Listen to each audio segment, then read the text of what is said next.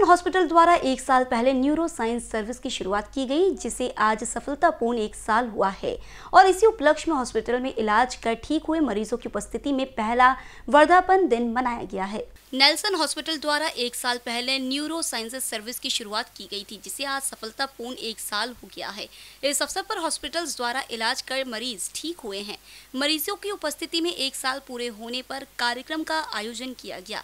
इस दौरान डॉक्टर्स द्वारा संवाद साधा गया। नमस्कार, मी ज्योत्स्ना कुऱ्हेकर मी सोबत पालकत्व प्रकल्पाची प्रकल्प समन्वयक आहे. हा प्रकल्प श्री संदीपजी जोशी, आपले माजी महापौर, ह्यांनी कोविड काळात सुरू केला होता आणि ह्याच्या जवळपास माझ्याकडे तीनशे बायका आणि माझा आज कुटुंब एक हज़ार लोकांचा आहे. नमस्ते. एक साल पहले हमने नेल्सन हॉस्पिटल में न्यूरो साइंसेज सर्विसेज़ की शुरुआत की और एक साल में करीबन 1850 पेशेंट्स हमने ओपीडी बेसिस पे ट्रीट किए, उसमें से कुछ एडमिट हुए और कुछ ऑपरेशंस किए।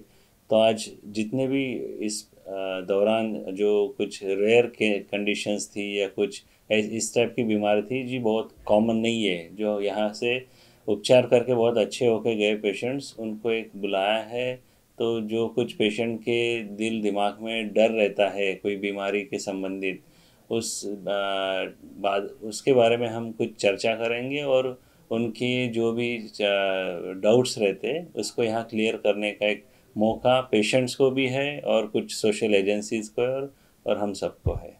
एक साल में बहुत अच्छे कुछ हमने काफ़ी रेयर ब्रेन ट्यूमर्स ऑपरेट किए हैं काफ़ी स्पाइन सर्जरीज जो बच्चों में है। एक तो हमने सत्रह साल का बच्चा है जिसके ब्रेन सर्जरीज करके उसको नया जीवन दिया है। अभी बहुत मतलब नौ महीने हो गए बहुत अच्छे से डेवलपमेंट भी हो रहे। और ऐसे काफ़ी ब्रेन एंड स्पाइन सर्जरीज के पेशेंट्स है इवन न्यूरोलॉजिकल डिसऑर्डर्स है, जो डॉक्टर संजय रामटे के सर के पेशेंट्स है।